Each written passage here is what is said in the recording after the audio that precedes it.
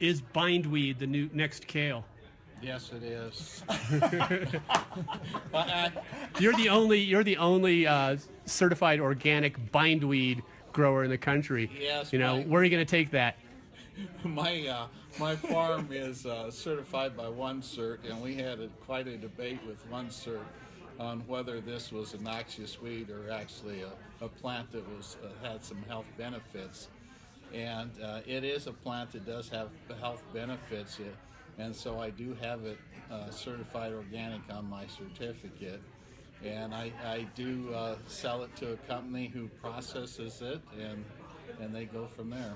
You know, that, I, I, I got a thought really quick on that. And we're going to talk about soil health and soil quality next. Uh, on that bindweed, how far is the root systems on some of those, those plants that you have? Well, um, some people say, you know, uh, 40 feet. I've heard stories, of, you know, they'll follow down like uh, hundreds of feet. So I don't really know.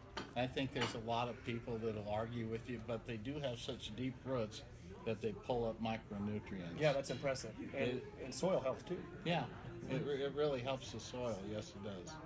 Okay, well bindweed is the new kale. You heard it here. You're right. Thank you, Leonard.